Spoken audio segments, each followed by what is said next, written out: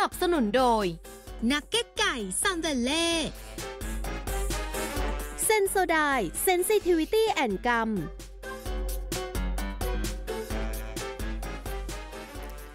สวัสดีครับ ข่าวนอกรูปมาแล้ววันนี้เริ่มต้นที่พังงา มาที่วิทยาลัยเทคนิคพังงาอำเภอเมืองจังหวัดพังงา สาวสวยแต่งตัวสวยเหล่านี้ เป็นสาวชาติใด มาที่วิทยาลัยเทคนิคพังงาทำไม ตอบ ว่ามองไกลๆ แต่งตัวแบบนี้คิดว่าสาวต่างชาติและเป็นสาวใหญ่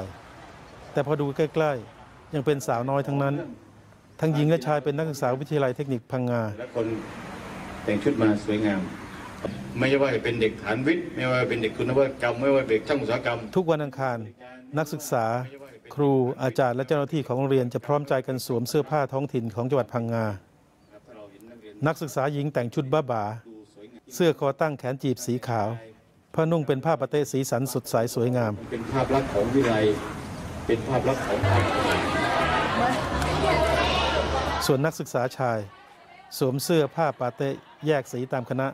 และระดับชั้นอ่าหนูรู้สึกดีใจแล้วก็ภูมิใจมากเลยค่ะ ที่ได้ใส่ผ้าปาเต้ที่เป็นเอกลักษณ์ของจังหวัดพังงาค่ะ หนูรู้สึกว่ามันสง่างามแล้วก็เหมาะกับจังหวัดพังงามากๆท่านผู้อำนวยการวิทยาลัย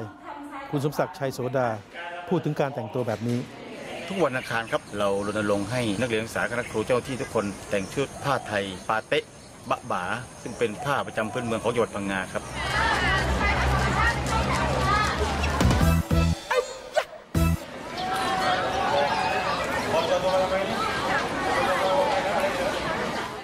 สวยครับ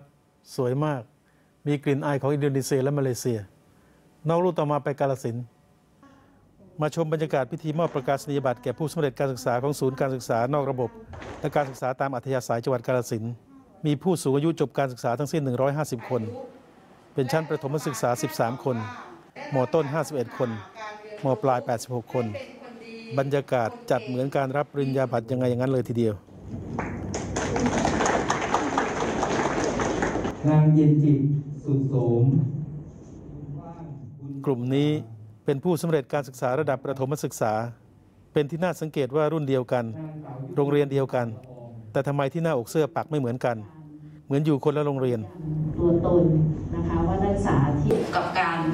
นำเอาความรู้และประสบการณ์สอบถามได้ความว่ายืมเสื้อของหลานมาใส่ทั้งนั้นอ่าถือว่าคุณป้าท่านนี้จบชั้นประถมแล้วรวมทั้ง บอกว่าจะต่อชั้นมัธยมอีก ดีใจไหมครับจบดีแล้วใจค่ะ จะต่ออีกค่ะ อ๋อเสื้อเอามาจากไหนครับ เสื้อหลานหลานเสื้อของร้านนะครับ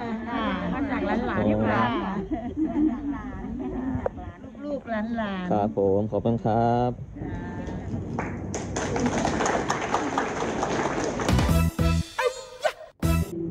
การมายืนยันตัวตนนะคะว่านักศึกษาที่ เรียนตอนสูงวัย ไม่เครียดได้เพื่อนเยอะสนุกครับนอกรูต่อมาไปโคราชสกายวอล์กกำลังฮิต จังหวัดไหนๆก็สร้างสกายวอล์กต้อนรับนักท่องเที่ยวให้ชมวิวทั้งนั้น ล่าสุดเดอะแพนโดล่าแคมป์เขาใหญ่ ซึ่งอยู่เลยทอสคาน่าเขาใหญ่ไปประมาณ 3 กิโลเมตร สร้างสกายวอล์กพื้นกระจก สูง 25 เมตร ยาว 60 เมตร มีเสาเป็นประติมากรรมรูปมือโอบสกายวอล์กเอาไว้ เพื่อให้นักท่องเที่ยวได้ชมทะเลหมอก และวิวเขาใหญ่ 360 องศา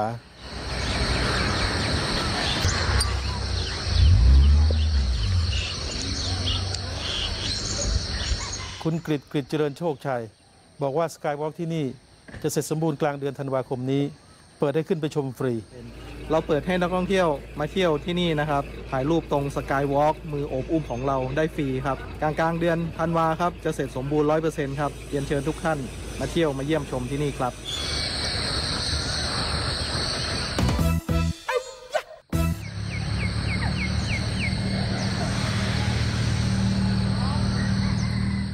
หน้าหนาวเขาใหญ่ขายดีครับ เพราะเป็นเมืองหนาวที่ใกล้กรุงเทพมากที่สุด น้องลูกต่อมาไปพิษณุโลก จะเที่ยวป่า และในป่ามีน้ำตกด้วย ต้องไปอุทยานแห่งชาติน้ำตกชาติตรการอำเภอชาติตรการจังหวัดพิษณุโลก ที่นี่ร่มรื่นด้วยพันไม้ใหญ่ ดูบุคลิกของต้นไม้แต่ละต้น ก็ทราบว่าได้รับการดูแลอย่างเอาใจใส่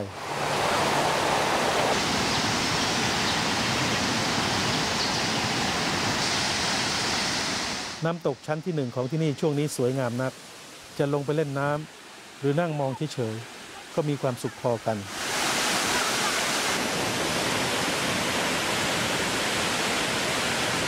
ใกล้ ๆ น้ำตกมีหน้าผาขนาดใหญ่ ชื่อผาพึ่งร้อยรัง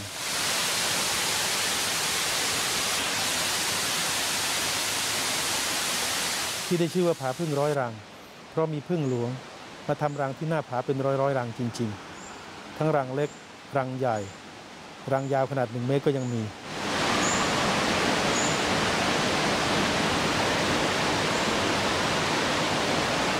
ดูใกล้ๆครับ เห็นยิบยับทีเดียว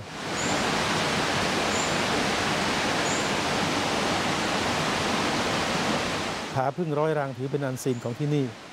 นักท่องเที่ยวสามารถเข้าไปสัมผัสอย่างใกล้ชิด แต่ต้องไม่ส่งเสียงดังรบกวน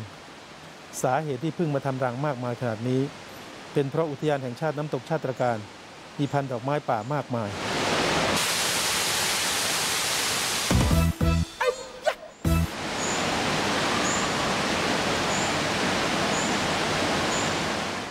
อยู่ใกล้รังพึ่งอย่าส่งเสียงดัง พึ่งไม่ชอบ น้องรู้ต่อมาไปนครพนม ความภูมิใจของจังหวัดนครพนมในขณะนี้ก็คือเป็นจังหวัดที่มีการฟื้นตัวของนักท่องเที่ยวไทย หลังสถานการณ์โควิดสูงที่สุดในภาคอีสาน โดยนครพนมเป็นอันดับหนึ่ง132เปอร์เซ็นต์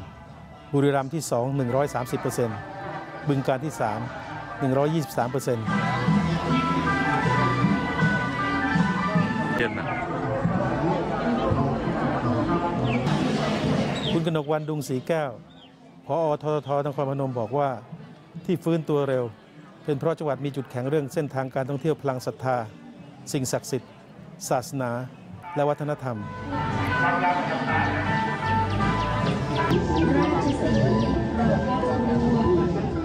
นอกจากนั้น นครพนมยังเป็นจังหวัดที่มีทัศนียภาพสองฝั่งโขงไทยลาวสวยงามนัก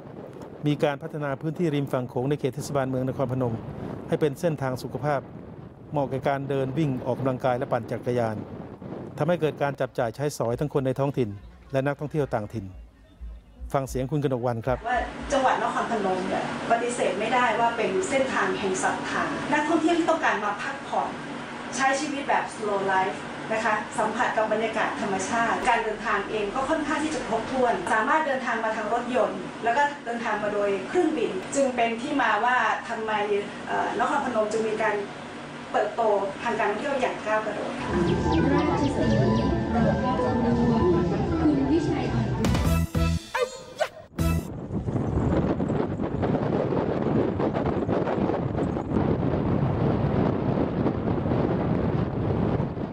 เจ้าบ้านดี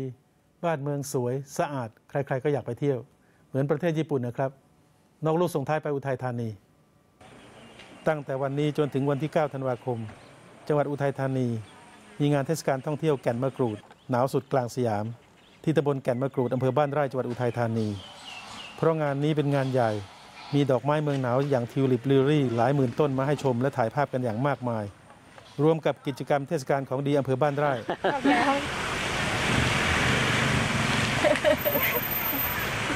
นอกจากนั้นวันที่ 9 ธันวาคม ยังเป็นวันเขตรักษาพันธุ์สัตว์ป่าห้วยขาแข้งทุ่งใหญ่นเรศวรมรดกโลก บรรยากาศการแถลงข่าวจึงยิ่งใหญ่ได้อารมณ์มาก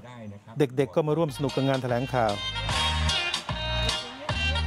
ได้เล่นกับเจ็ดผู้ยิ่งใหญ่แห่งป่าห้วยขาแข้งซึ่งเป็นหุ่นปูนปั้นขนาดใหญ่เหมือนของจริง มีทั้งช้าง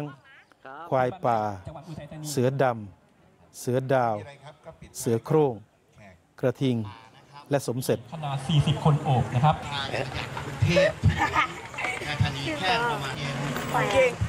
ของจริงเคยทุกอย่างสวยหรูดูดี ยกเว้นสัตว์ป่าบางตัว เขียนชื่อแล้วเด็กๆงง เช่นกระทิง เขียนแบบเนี้ยครับน้ำเอื้อหัวแดงก็เขียนผิด เรามาเตรียม เสือโคร่งผิดทั้งภาษาไทยและภาษาอังกฤษในใช่ไหมจริงไหมเดี๋ยวจัดให้ท่านนั่งก่อนอะท่านเปิดท้ายสมเสร็จก็ผิดอีกเหมือนกันคนโอบนะครับ แล้วก็มีถ้ำเขาวงวัดผาข้างนะครับ ที่เป็นที่เป็นฐานของหลวงพ่อโต